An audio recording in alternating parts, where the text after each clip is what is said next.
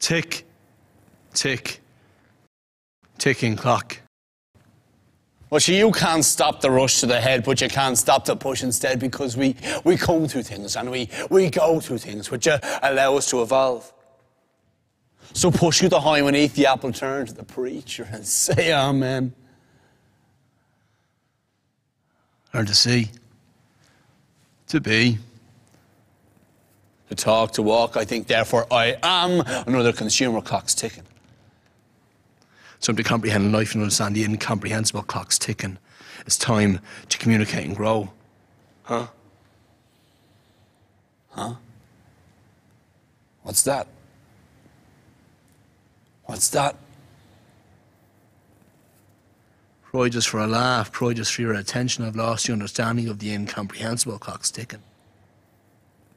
Some to find things,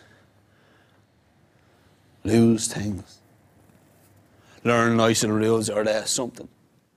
Be good, be bad. Get a kick up the ass, a slap on the wrist, a mouthful of soap, and key to leave home, but not yet. Ride around free your own, man. So bedtime, dinner time, any time.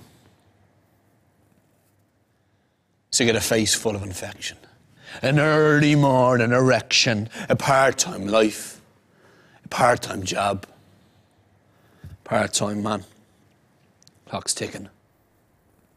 It's time to be a man. Not a boy. Grow up. Contribute. Consume. Plan for the future. Plan for protection. Sure, it's only 99% effective. 100% sperm directive.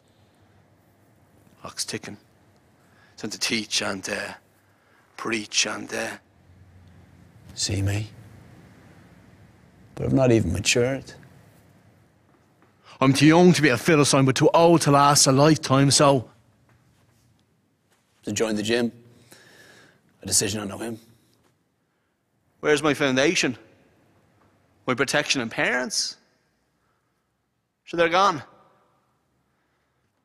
It's been me. Well, that's just fucking great. So settle down, down, now, now. Skip some time. I'm only 69. So let's get some air miles. Stramic tile, stocks and shares. Shit in my pants.